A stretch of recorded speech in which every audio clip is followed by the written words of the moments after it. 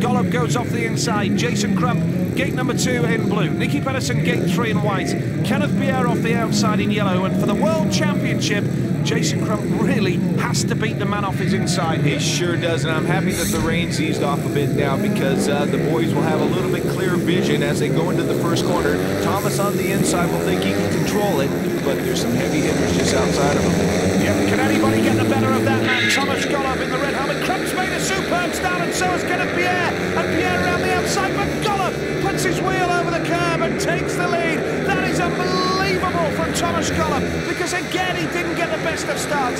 The fourth straight ride where he's been off the inside and he's got the lead somehow. And remember, if he wins this race, it'll be six points to his total and a 24-point maximum. That will definitely put him in uh, position where I don't think he'll be caught after that, but there's still two more rounds. Look at the boys trying to do it. Jason's up high, trying to get whatever he can out of the dirt that's up there that's full of water.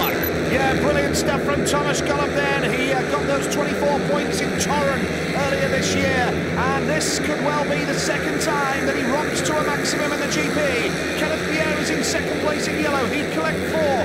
Crump's having a go though. He's going high and wide in turns one and two.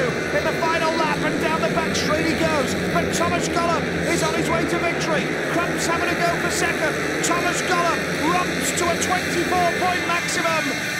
Kenneth Bjerre is second. Jason Crump gets third. That's enough for him to jump ahead of Jarek Hampel into second place in the World Championship. But Thomas Gollob moves on to 141 Grand Prix points to extend his lead.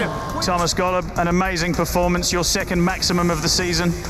Yeah, uh, it's my trick, and I think it's my home. It's the same uh, maximum point, and tonight is uh, maximum, and uh, last turn in maximum.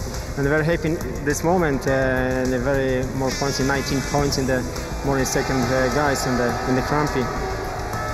It's brilliant for me. And uh, con con congratulations, Crampy and uh, Bjerre, uh, today in the good hard meeting in the hard race in the last heat and. the good start in the first gate and I'm very happy it's me.